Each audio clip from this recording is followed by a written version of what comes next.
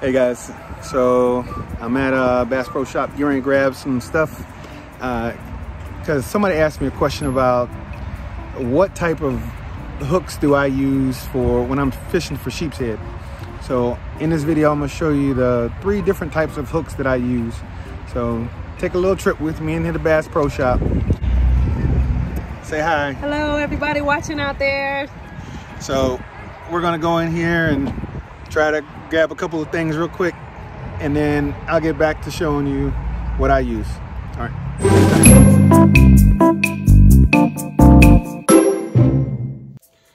Okay guys, so the question was what type of hooks do I use uh, when I'm fishing for sheepshead and I'm using live bait.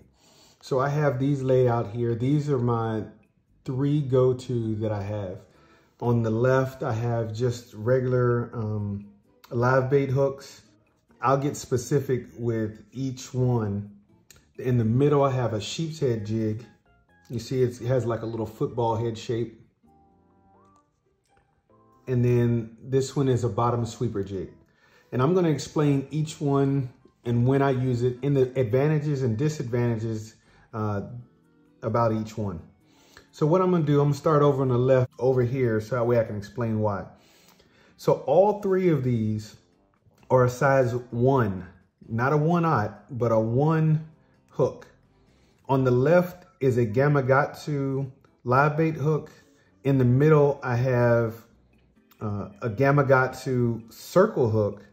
And on the right is an owner live bait hook, a J hook. So if you can see that each one of them are different size, but they're all a size one. The thing I like about the live bait hooks from Owner and Gamakatsu, they are much thicker than the circle hook.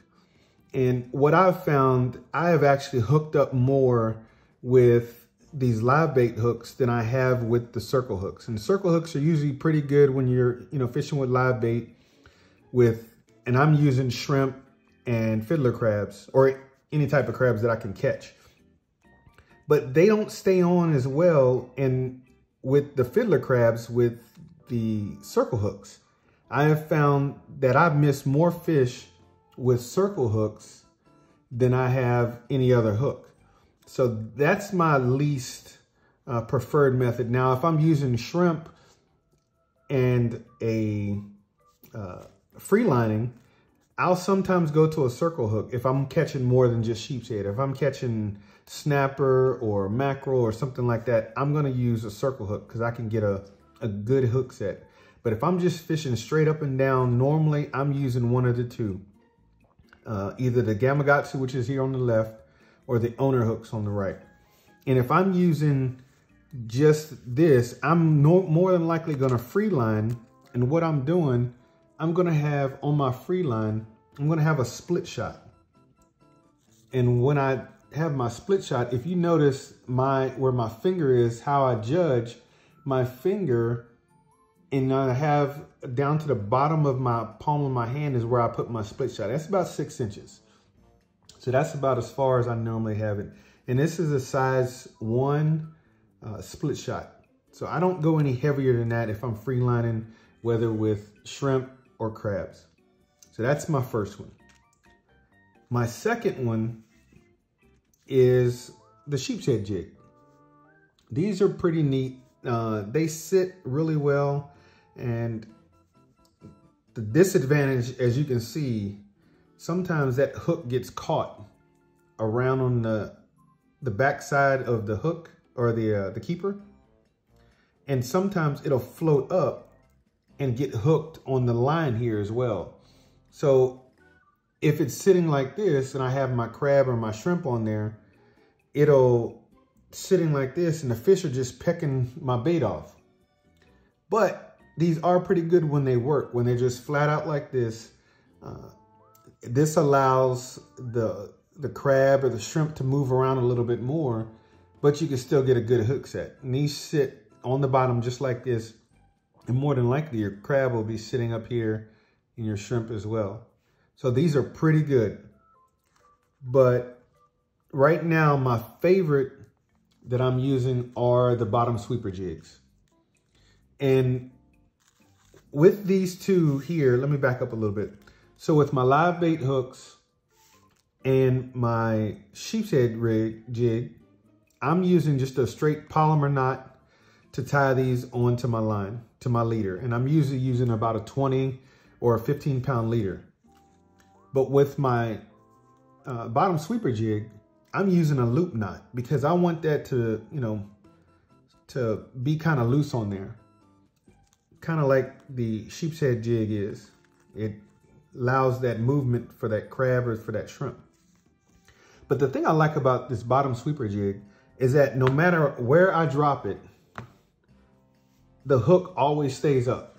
So I can let this fall and it's gonna stand up just like that every single time, no matter if there's rocks or anything down there.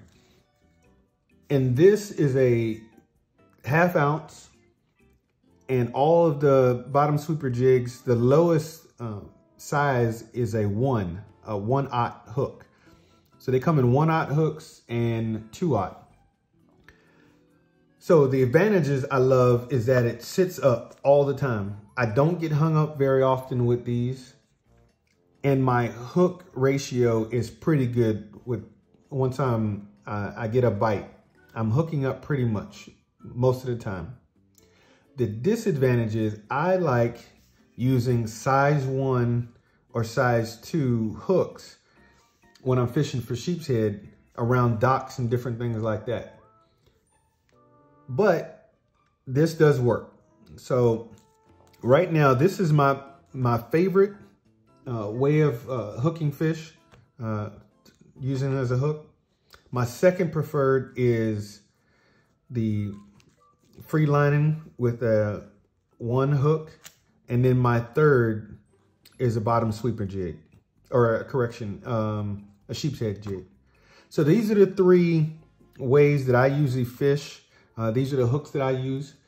So I'm gonna leave the description of each one of those in uh, the description here underneath this video. So that way you can, you know, purchase them yourself. I'm not sponsored by any of these, by the way. These are just the ones that I prefer. These are what I've gone out and fished with and caught fish with. Hey, so that's going to do it for this video. I uh, hope that helped. If you have any questions or anything like that, or if you have something that's actually better, hit me up below in the description. Let's let's have a little dialogue. Uh, so I like to, to learn as well. I don't know everything about fishing, but I have caught fish and this is what I use to catch fish. So, so subscribe to my channel, like my videos, and also share my videos. So that way uh, other people that might have questions learning about fishing can, can get a little information here. So until the next time we meet again, remember, God loves you, God bless you, and may he keep you. Till next time, talk to you later.